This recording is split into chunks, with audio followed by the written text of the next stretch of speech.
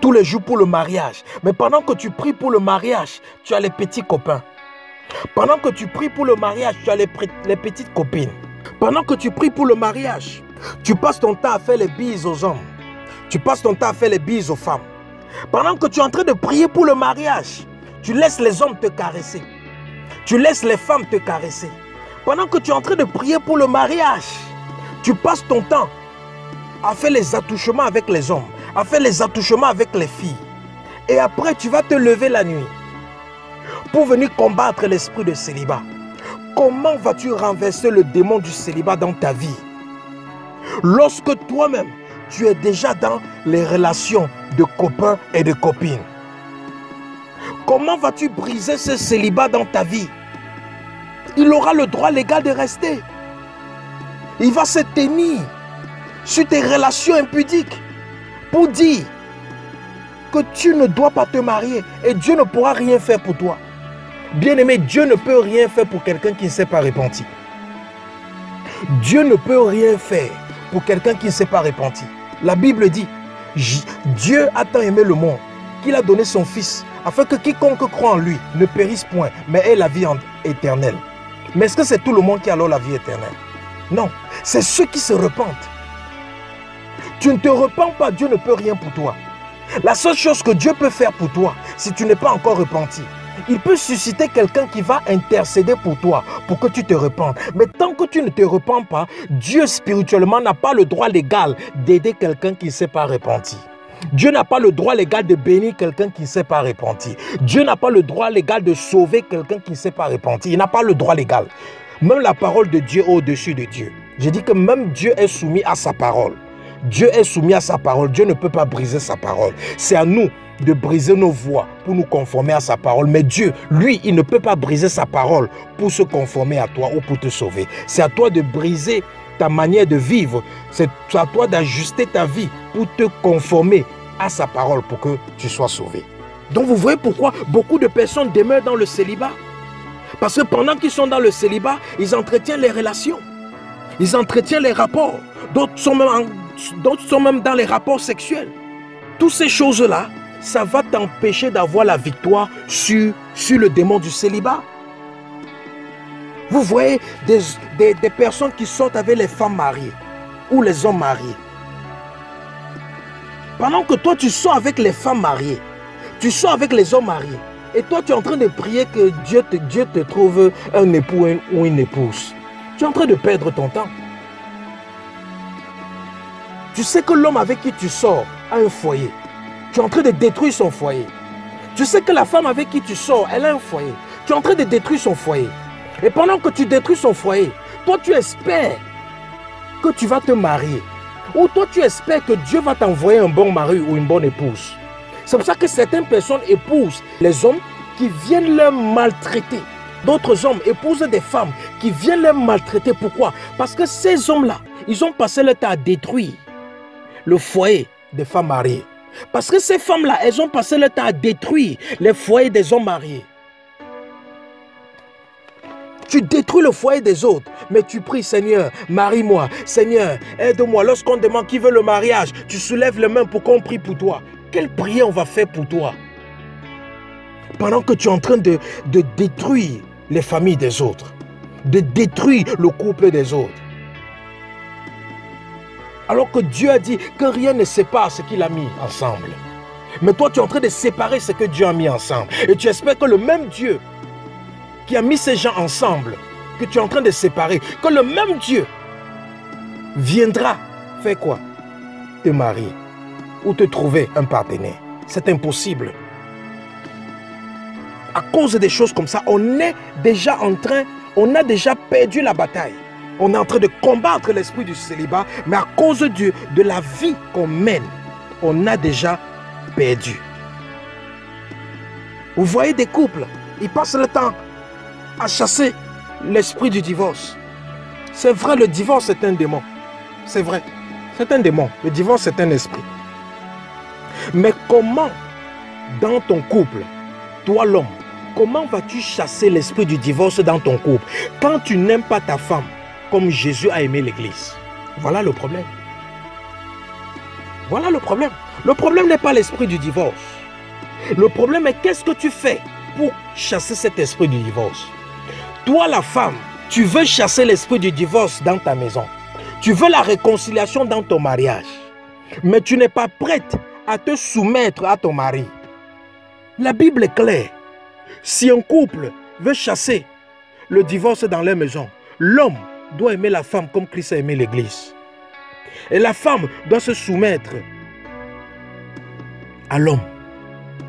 Ça, c'est clair. Voilà la formule pour chasser l'esprit du divorce dans une maison. Mais souvent, les femmes ne veulent pas se soumettre à certains hommes. Parce que souvent, parce que peut-être ils voient que l'homme, l'homme, l'homme les méprise, l'homme les fait du mal, l'homme est violent, il ne veut pas se soumettre. Quand on parle de se soumettre, quand on dit qu'une femme doit se soumettre à un homme, on ne dit pas que cette femme doit laisser l'homme l'amener à, à faire des choses qui vont contre la parole de Dieu. Non. La soumission, c'est selon les voies de Dieu. Donc on dit qu'une femme doit se soumettre à un homme. Ça veut dire que tu dois remplir ton devoir de femme envers ton mari, que ton mari soit chrétien ou pas, ou que ton mari t'aime ou pas, tu dois te soumettre. Tu dois remplir ton devoir de femme. Te soumettre. Tu dois remplir ton devoir de femme. Et c'est en te soumettant à ton mari que ta prière pourra déloger le démon du divorce hors de ton foyer. Même chose pour l'homme, c'est quand tu vas aimer ta femme, tu vas accepter ses défauts, son caractère difficile, tu vas supporter et rester dans la prière. C'est là que ta prière va déloger le démon du divorce. Mais le démon du, divorce ne peut pas sortir de ta maison tant que toi, tu n'aimes pas ta femme comme Christ a aimé l'Église. Christ a aimé l'Église comment? Il s'est sacrifié pour elle. Christ a aimé l'Église comment? Il a pardonné à l'Église. Il a pardonné à l'Église. Christ a aimé l'Église comment? Il a été patient envers l'Église. Christ a aimé l'Église comment? Il n'a pas suspecté l'Église.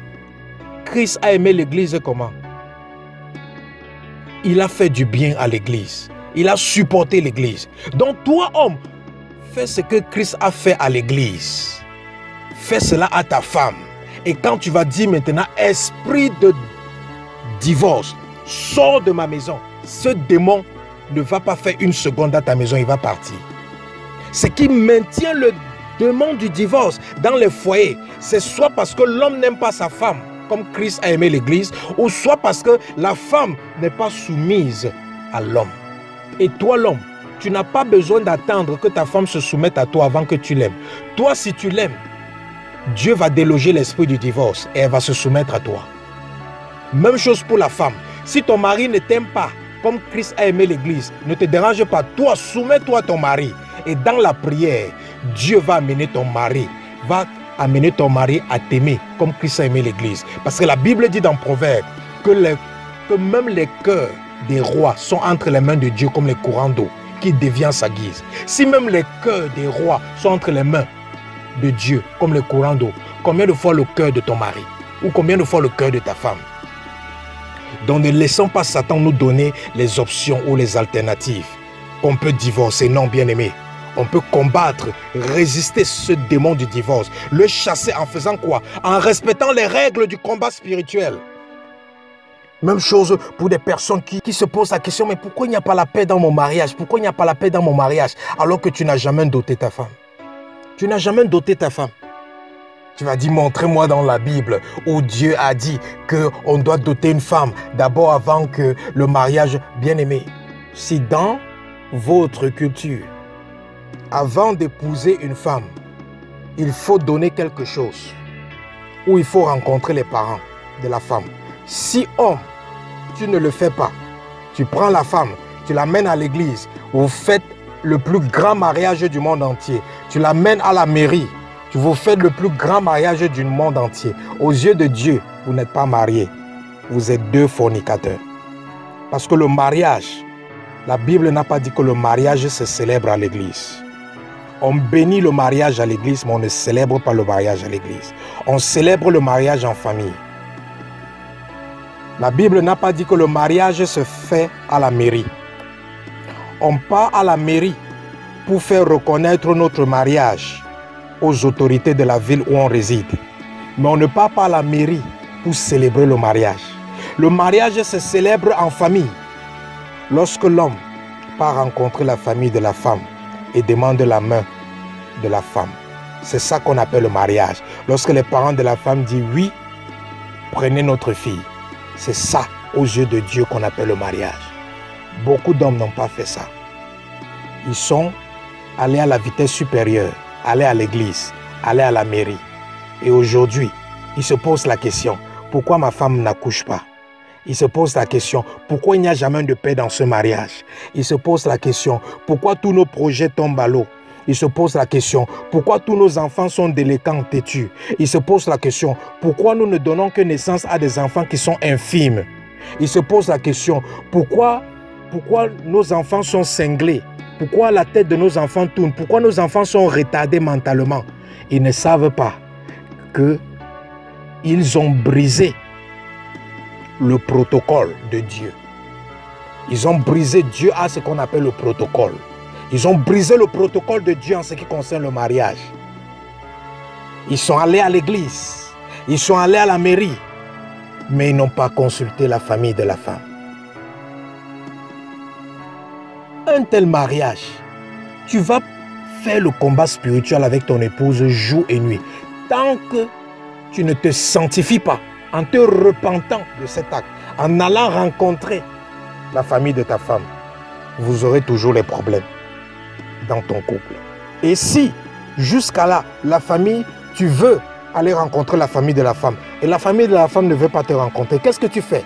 Toi et ta femme, vous priez que Dieu touche le cœur.